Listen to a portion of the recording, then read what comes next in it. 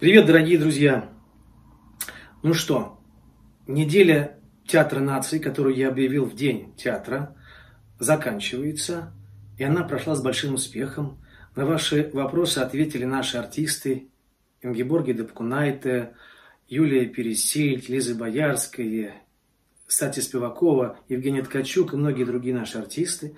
Но поскольку э, потрясающий успех – вам это оказалось очень интересным, и мы очень этому рады.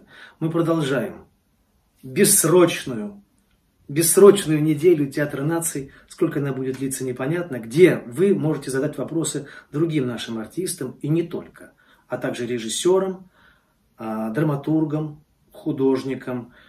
А позднее будет написано, где можно будет опубликовать свои вопросы, и те, кому вы можете эти вопросы задать. А я приступаю Теперь моя очередь отвечать на ваши вопросы, что я буду делать с большим удовольствием. Итак, первый вопрос. Евгений Витальевич, почему ваш театр называется театром нации? В спектакле «Муму» над этим шутит. Но действительно, творческие силы из каких стран вы уже привлекли? Рассказываю, что э, театр наций достался нам в наследство. В 1987 году был организован Театр Дружбы Народов, который помещался также вот в этом здании. А в 1992 году был образован Театр наций. Образован был Союзом театральных деятелей. А когда мне предложили возглавить Театр наций, у меня были мысли, вам честно скажу, разных вариантов, в том числе вернуться к первоначальному варианту театра Корша. Это был первый частный театр в России. Но поскольку идеи и задачи у нас были другие, да и честно вам скажу, необходима была реконструкция и стройка. И ходить э, с театром Корша и с театром нации – это две разные вещи. Мой хитрожо, э, хитроумный план состоял из того, чтобы все-таки театр наций э, объединяет и наоборот расширяет культурное пространство, и связи и с э, нашим многонациональным государством, театральными традициями и международными. Мне казалось, что будет легче. Я ошибался. Это было очень непросто и с названием Театра наций. Но тем не менее мы его оставили, а теперь как-то это так сроднились, и Театр наций наше все. Да, угу. Кого из мировых звезд, режиссеров или актеров вам хотелось бы зазвать в театр, но все никак не получается? А, понимаете, это не самоцель звать именитых, знаменитых режиссеров. Цель наша а, была в самом начале и остается все-таки э, все-таки театр нации – это открытая площадка, открытая для любых возможностей, и для экспериментов, для лабораторий, и для встреч с э, любым режиссером, э, который интересен сегодня вот русской публике и русским артистам. Поэтому еще, кстати, учитывая то, что я работал со многими мировыми режиссерами до того, как я пришел в Театр нации и возглавил его, конечно, этот опыт потрясающий. Он просто невероятный, он очень разный. И мне, как артисту, очень хотелось, чтобы не только я воспользовался вот таким счастливым билетом, но и многие мои коллеги познакомились с ведущими режиссерами, в том числе мирового театра. Поэтому я так географию особенно как-то ну, не изучал тех режиссеров, которые у нас работают. Но тем не менее, Робер Лепаш, Канада, Роберт Уилсон, Америка, Явор Гырдев, Болгария, э, Томас Остермайер, Германия, а, кто у нас там еще был? А, Некрошес, Литва, да, Стефан Бруншвейк, это Франция, Алвис Херманис, Латвия. Да, действительно, география очень обширная. Э, тем не менее, я повторю, это была не самоцель. Из тех режиссеров, скажем так, международных, которыми мне хотелось бы познакомить, русского зрителя, который уже знаком, потому что спектакли э, Кэти Митчелл, предположим, приезжали на разные фестивали. Тем не менее, мне кажется, это одна из сегодня самых, один из самых интересных режиссеров. Есть одна проблема. Она не летает самолетами. И трудно очень идет на контакт. Но я надеюсь, что И эту задачу мы решим. Если говорить про артистов, я дружу с Хелен Миррен. Конечно же, я бы мечтал о том, чтобы, ну, если уж не мы даже вместе, а чтобы она все-таки, поскольку у нее русские корни, про это все знают, она Хелен, Елена Миронова. Кстати, она рассказала удивительную историю. Когда мы с ней встречались в Лондоне, она специально приехала на спектакль Бориса Годунов, в котором я играл, спектакль Деклана Донована. И рассказала, что она захотела вернуться в Россию и найти свои корни. И нашла их под Калугой, под Калугой. Там было ее имение, у нее был дед или прадед, уже я не помню сейчас, царский генерал, и там было его имение. Как оказалось, мои корни мироновские по папиной линии тоже оттуда, из-под Калуги. Так там была деревня какая-то Мироновка, вот все оттуда. Так что я не знаю, кто мы по крови с ней, а, но по крови и по духу театра мы с ней очень-очень близки. И я вспоминаю ее приход на спектакль в Лондоне. Мы играли рассказы Шукшина. Потом гримерная она не выдержала, заплакала и сказала, что ей очень-очень это близко. Хотя она не жила в России, не, родилась уже не в России, тем не менее, вот что такое ген русский, который никуда не, девается. Слышала по телевизору, что в театре будет новая постановка спектакля «Мастер и Маргарита». Началась ли репетиция и скоро, скоро ли будет премьера? Да, действительно, а, действительно, репетиции уже начались. Ставит этот спектакль Робер Лепаш, знаменитый канадский, не только канадский, всемирно известный режиссер, который уже работал в Театре нации. Он поставил вот со мной моноспектакль «Гамлет Калаш». Я очень рад. Очень рад, что в этом материале есть, есть работа для нас, по-моему, 13, по-моему, 13 актеров. Все играют по несколько ролей. Материал потрясающий.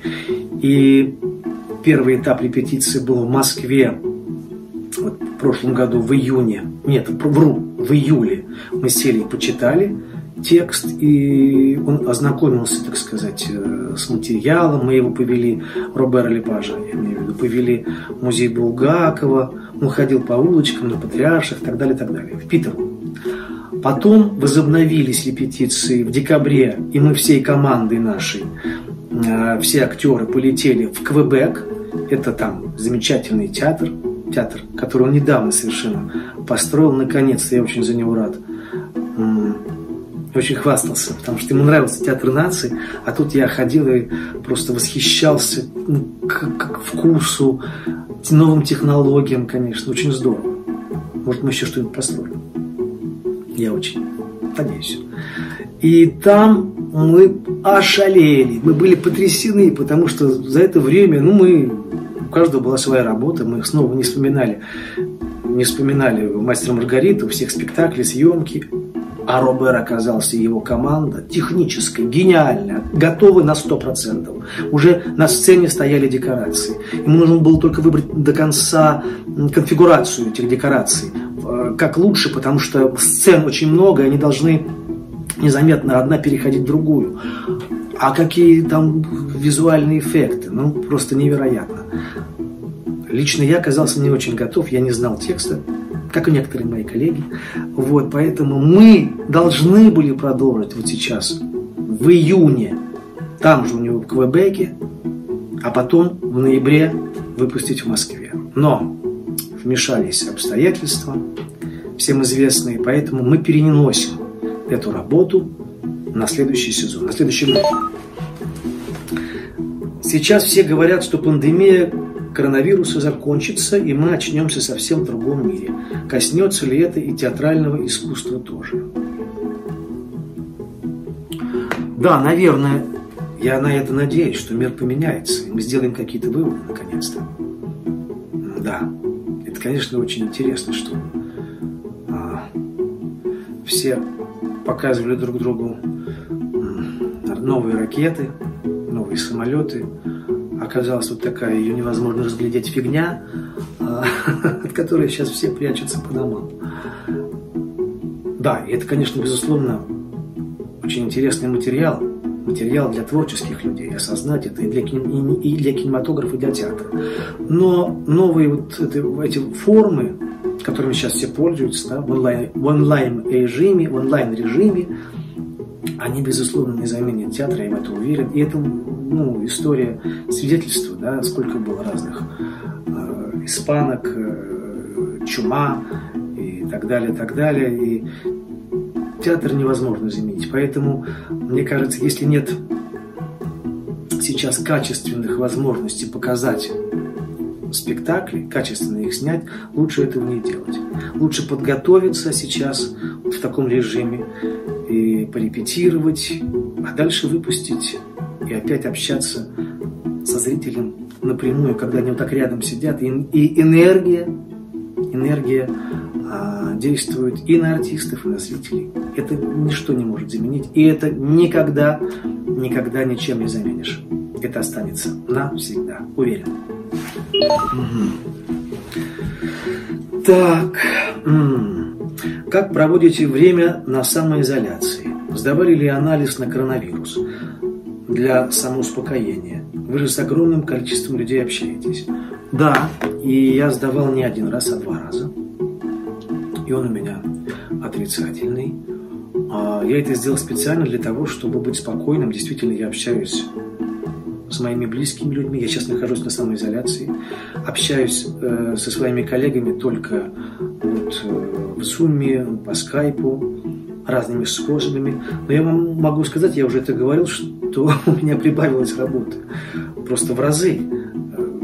Я и так не страдал от безделия. Тем не менее, сейчас э, мы репетируем, Театр нации продолжает репетировать, насколько это возможно, все свои проекты ничего не остановилось. В том числе спектакль, который я репетирую сейчас каждый день, спектакль Горбачев, режиссер Алвиса Херманиса, вот Чулпан Хаматовый, Рома Должанский, там сидит Леонид Тинцуник, помощники, мы все сидим, разбираем текст. Конечно, это до, до поры до времени, когда мы уже разберемся, и нам нужно будет вставать на ноги, либо мы будем ждать, либо придумаем тоже какой-то, что-то придумаем. Кроме того, театр нации живет очень обширной жизнью. Вы знаете, мы сейчас отвечаем на вопросы, наши артисты. Дальше а, у нас следует наш театральный сериал. Мы решили вспомнить, проанализировать всю историю нового театра нации, которому будет в следующем году 15 лет. Театральный сериал будет разные иметь темы, начинаем мы со стройки. Там очень много воспоминаний, в том числе моих личных. Кроме того, покажем несколько наших спектаклей на платформе ОККО а, вот, Сбербанка. А, мы работаем, работаем, да, слава богу, все хорошо. Спасибо. Как возникла идея поставить спектакль «Горбачев»? И как вы будете бороться со, стере... со стереотипами о Михаиле Сергеевиче? Сколько смеялись над его говором, ругали его за развал СССР, ненавидели за сухой закон? Что героического вы нашли в этом персонаже? Идея принадлежит Алвису Херманису, режиссеру, с которым мы поставили спектакль рассказа Шукшина. А, долго мы, 12 лет, думали, что делать дальше, и вот он произнес имя Горбачев. Я, честно говоря, сразу зажегся, как и Чулпан Хаматова, потому что этот спектакль не столько о Горбачеве, сколько о паре. Паре. О Михаиле Сергеевиче и Раисе Максимовне, которые, как тандем которых их отношения, мы сейчас их прослеживаем, так сказать, в репетициях, откуда они родом, как они познакомились, потому что этот союз изменил не только страну, он изменил мир. И как раз период его царствования, так скажем, правления, 6 лет, мы не берем в расчет. Этого нет в нашей пьесе. Потому что у каждого есть свои оценки этого периода, и каждый вправе оценивать, как он может. Если говорить про меня лично, то сейчас я просто обложен книгами, воспоминаниями, мемуаров абсолютно разного характера, некоторые критические, некоторые, так сказать, наоборот, и воспоминания самого Михаила Сергеевича и Раисы Максимовны. Для меня открывается этот человек э, со стороны, которую я уже чувствовал как артист но и как просто как человек. Это какая-то безупречная порядочность. Порядочность внутренняя. Это интеллигентность. Вот сейчас я изучаю его родословную, и вот эта природная интеллигентность, казалось бы, в Ставропольский край, село Привольное, отец, его комбайнер, который прошел войну, а, обладал этой интеллигентностью. Природная какая-то интеллигентность. Это означает только одно для меня. Внимание к чужому человеку. Уважение чужого, чужого человека. А, какая-то нравственность их объединяла, вот общая. И Раиса Максимовна, и Михаила Сергеевича. И эти качества, может это и не странно, так должно было быть, они безусловно, очень плохи для, для политика, мне как кажется, мне так кажется. Там должна быть иногда, видимо, так в истории, по крайней мере, всегда случается, возможно перейти грань. Перейти грань ради чего-то, да, цель оправдывает средства. Горбачев никогда ее не переходил. И руки его, как он потом сказал, кому-то сейчас не помню, они не в крови. Нет. Вот все-таки он, многие его э, обвиняют в том, что он очень был медлительный и нерешительный. А может быть, благодаря этому мы все-таки и все-таки и не ушли в гражданскую войну. Понимаете, время было тяжелое, система оказалась вечная, разрушалась еще до Горбачева. Сейчас его винят. Но еще раз хочу сказать, винят по одной простой причине. Никого не хочу обвинить, но от незнания, от темности. И у нас нет задачи рассказать, потому что мы сейчас этим, как, знаете, как научные деятели разбираемся. Просто разбираемся объективно, да, чтобы понять характер, характер этого человека. Важно через характер его и Раисы показать и время, и показать и через их отношения, что потом случилось. Почему именно этот человек, вот Богом, судьбой был поставлен и который ну, смог сделать невозможное. Страна с тоталитарным режимом стала говорить свободно, стала высказывать свое мнение. И каждый, мог и рабочий, и профессор, высказать свое мнение, причем Горбачев его должен был выслушать. Сейчас это представить сложно, между прочим, чтобы так тебе в глаза говорили критику. А он все это выслушал и говорил, что это достояние, достояние. Они стояли на мавзолее с внучкой своей приветствовали людей, и там шли люди с плакатами, где писали оскорбительные, оскорбительные лозунги в адрес Горбачева. Он стоял в этой своей, своей значит, шляпе, не выдержал, развернулся и ушел. А внучка заплакала и сказала, дедушка, ну за что, за что, за что? Наверное, было. И за что было? Потому что не мог он объяснить до конца, что он хотел, и не получалось много. Тем не менее, поменялся воздух. Понимаете, воздух и в стране, и в мире к нам стали относиться по-другому. Сложная задача, но очень интересная. Ну вот добьем тему Горбачева. Вы недавно с Чулпан Хаматовой читали отрывки пьесы в прямом эфире в Инстаграме. Мы читали отрывки как раз из пьесы Горбачев. Какие остались впечатления? У нас остались хорошие э, с Чулпан. Я очень по ней соскучился.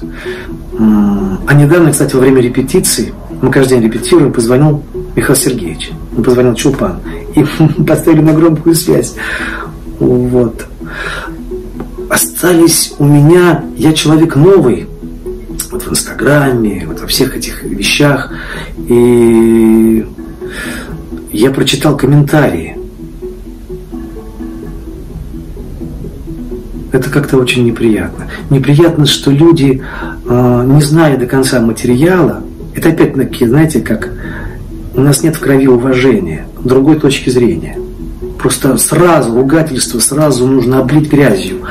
А я предлагаю, мы предлагаем, любой спектакль это предложение ну, к разговору, да, поразмышлять, а может быть даже поспорить, не знаю, а может быть и сойтись в, в чем-то, в каких-то точках зрения. Тем не менее, такое вот сразу облить меня как-то очень расстроило, потому что мне казалось, что мои подписчики умнее. Ну ничего, вместе учимся. Сейчас многие театры показывают свои спектакли онлайн. Не, не вернется ли таким образом советская мода на телеспектакли? Не хотели бы вы как продюсер заняться этим делом? А, знаете, снять спектакль, чтобы потом его показать зрителям, тем более учитывая ну, ну, такой контент вокруг, да, такое количество сериалов, потрясающего, в том числе отечественных, потрясающего качества, что снять плохо э, заранее проиграть. Снять хорошо, это требуется серьезные затраты, требуется 5, может быть даже больше камер. И не один день съемки. И сейчас такое позволить, вот по крайней мере сейчас, может только «Золотая маска», снимая очень качественно а, лучшие спектакли нашей страны. Поэтому это трудоемкий и очень дорогой процесс. Вот. Я не думаю, что это возможно так прям поставить на рельсы. Тем не менее, мы продолжаем театр нации, имея в своей библиотеке такие ну, интересные очень спектакли с выдающимися режиссерами. Конечно, мы хотим это зафиксировать, чтобы потом оставить и показывать не обязательно только в случае коронавируса. Продолжаем. А, сразу два вопроса объединю в один. Вы внесли большой вклад в то, что Кирилл Серебренников оказался на свободе и мог спокойно работать. Планируете ли с ним сотрудничать? И вернетесь ли к идее спектакля «Путь по Чайковскому»? Ну, не я один, э, так сказать, переживали за Кирилла, и каждый делал все, что мог, понимаете? Я делал то, что я мог. Надеюсь, что все это скоро закончится, как страшный сон. Надо сказать, что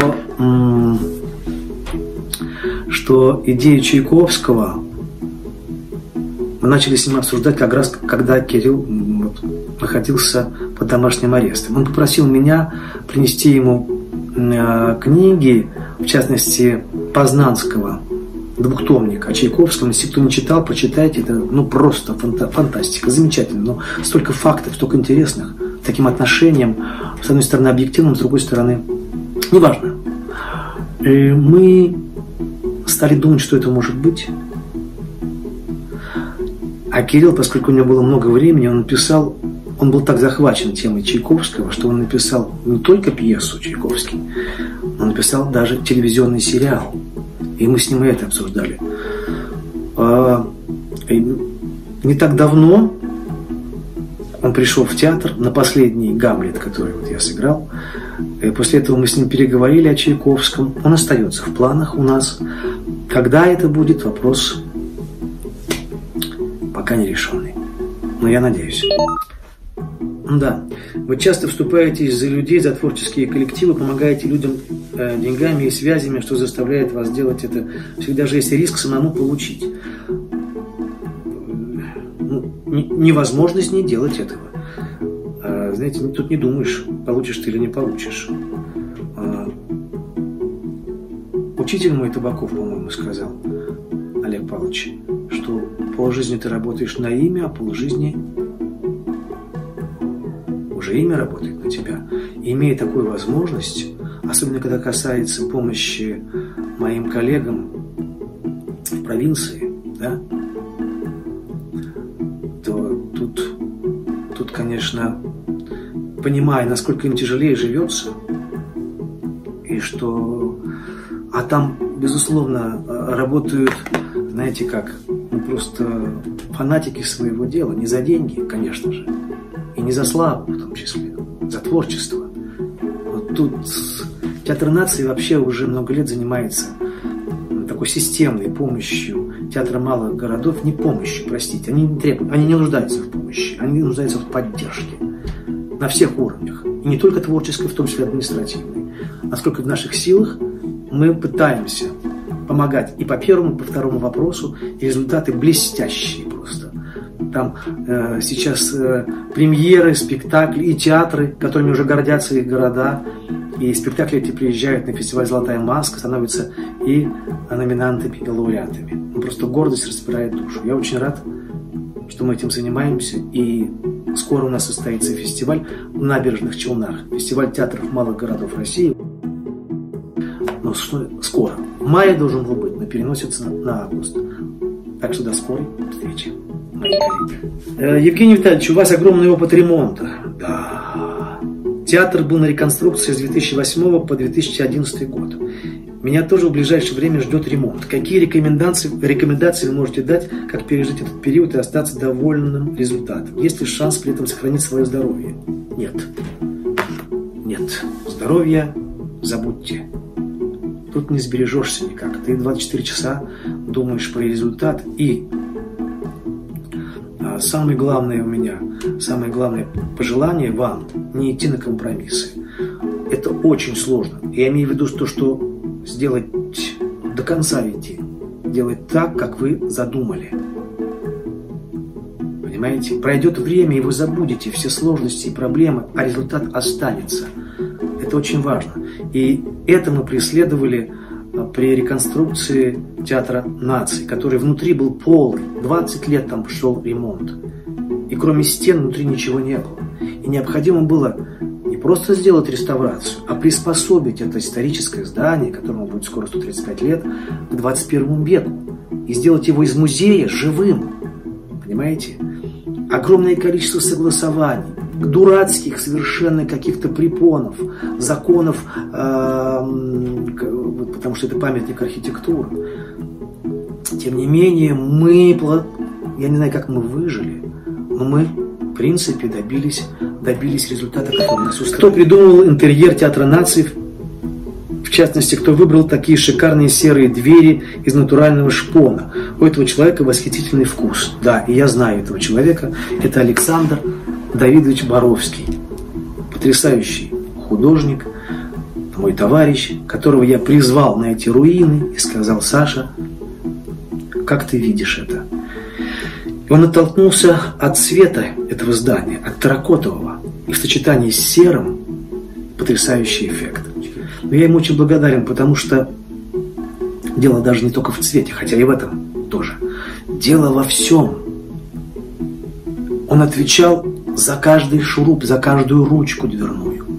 И когда она была не та, а покупали ну, подешевле или пластмассовые какие-то не те окна, это это, у него была истерика просто.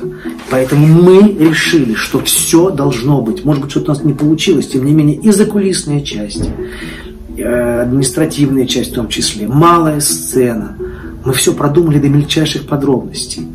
И когда меня, с одной стороны, строители, или даже наши коллеги, которые отвечали за стройку, говорили, что Евгений Витальевич, невозможно. Я шел к нему, говорил, это невозможно. И видел, что сейчас он умрет, я говорю, понял, Саша. Выходил и говорил, возможно, давайте делать. Вот. И у нас получилось, я считаю, получилось. Потому что это одно из самых красивых зданий теперь не только снаружи, но и внутри. Так, ну сколько же времени, ребята? А вопросы не кончаются. Честно говоря, я не знаю, что делать. Вопросов еще много, но я попытаюсь тогда, может быть, в какой-то другой форме на них ответить. Мы придумаем Ваш учитель Олег Табаков всегда старался делать коммерчески успешный театр. Насколько для вас важна эта составляющая? И как соблюсти паритет, быть коммерчески успешным, но не стать театром для богатеньких? Да, Олег Павлович, а, Олег Павлович э, действительно был заточен на успех. Вообще слово «успех» для него было первостепенно он не признавал неуспешных проектов, очень расстраивался. В этом мы с ним расходимся. Я считаю, что если в театре не заложен процент неуспеха, то есть процент, надо стремиться к успеху, это ясно, но проб и ошибок, то для этому театру нет э, движения вперед, нет э, жизни настоящей. Нашей жизни тоже каждый день не похож на другой. Да, бывают более удачные, менее удачные дни. Театр это тоже живой организм. Поэтому это очень важно, чтобы мы имели возможность ну, рисковать.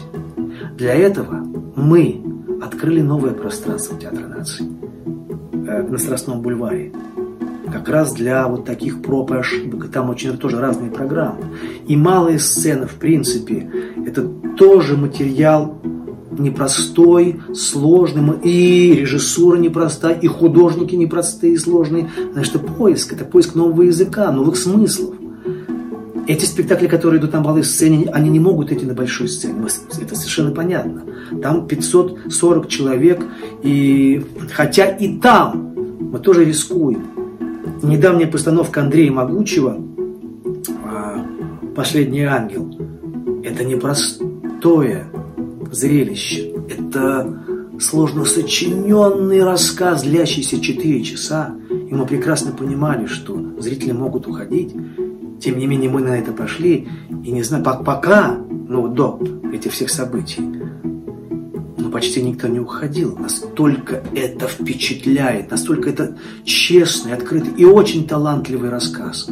Понимаете? Рисковать надо, безусловно, но и про деньги думать надо. Потому что мы, у нас нет трупы, у нас артисты на договоре. То, что мы заработали, то получают потом артисты в своих гонорарах. Не только артисты. На эти деньги, которые мы заработали на основной сцене, мы потом производим э, и новые спектакли, и можем часть денег отправить в новое пространство, где, как я уже сказал, это лаборатория молодых режиссеров и сценографов. Все взаимосвязано, безусловно. Конечно же, когда мы берем новый, думаем о новом спектакле, я встречаюсь с режиссерами, в том числе не только с молодыми, с именитыми. Мы выбираем материал, и, конечно, тут подсказывает уже какая-то интуиция. И, может быть, если сложный материал, я думаю, каких артистов взять сюда для того, чтобы привлечь публику, хотя бы изначально из-за имени артиста. А потом они забудут про то, что это, понимаете, Ингеборги Депкунайта или Ксения Рапопорт или другие наши замечательные звезды. Они забывают, потому что они там разговор-то, понимаете, уже серьезный кстати, спектакль «Иранская конференция», который мы, и где много известных артистов, собирались э, снять и показать вам в онлайн-режиме, а, будет снят, скорее всего, в мае. Я очень на это надеюсь, как и мы все. И тогда мы сможем вам его показать. Когда закончится режим самоизоляции, и вы сможете вернуться в театр, что первым делом сделаете? Обниму людей. Я соскучился по людям, по нашим по всем я соскучился. Наверное, надеюсь, это уже будет можно обнять без всяких этих масок. А дальше все. Мы сейчас сделали заготовки, которые дальше пускаем в жизнь. На сцену выходит э, «Страсти по Фоме» режиссера Евгения Марчели, э, которые уже сейчас в процессе практически были прогонов, но роды были остановлены. И дальше мы в прогоны в премьеру. Дальше Сердюк выпускает спектакль к 9 мая моими глазами по воспоминаниям значит, э, военных очевид... Э, очевидцев войны. Дальше э, Кулябин Тимофей. Уже практически спектакль собран. Спектакль «Разбитый кувшин Клейста» с Ингеборги Депкунайте. Он уже в такой, ну, почти в готовой форме. Олег Долин будет заканчивать репетиции лекаря по неволе с молодыми артистами. Планов миллион. И мы будем репетировать, продолжать э, Горбачева. Вот что я сделаю. В первую очередь. Вот. Дорогие друзья, я благодарю вас за ваши вопросы. Мне, честно говоря, очень важно, что вы думаете, а не про меня лично даже, а про наш театр – наши спектакли, куда мы идем, как мы развиваемся. я очень рад этой возможности, у меня ее не было вот до этого случая. Я так рад, что вот эта возможность, там спрашивали, как я с техникой общаюсь. Но вот теперь я общаюсь, и я нашел, наконец, большие-большие плюсы. Мне важно такой прямой контакт от вас. Поэтому я считаю, что это только начало. Я прошу от вас активности. Мне бы очень хотелось а, узнать вот ваше мнение поближе и поближе с вами познакомиться. И до скорой, до скорой встречи. Я в это верю. А Театр нации продолжает. Уже месяц Театра наций. И вас ждет впереди очень много интересного. До скорой встречи. Пока.